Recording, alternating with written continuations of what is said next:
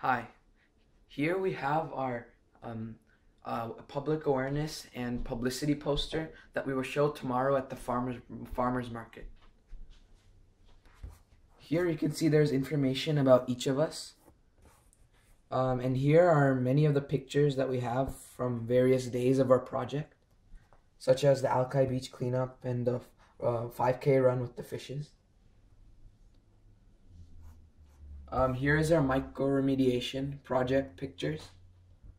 And here is our phyto remediation project picture. Finally, we have slides on how you can help. And we've also publicized our Android app. And we also have meetings with salmon saving agencies as well.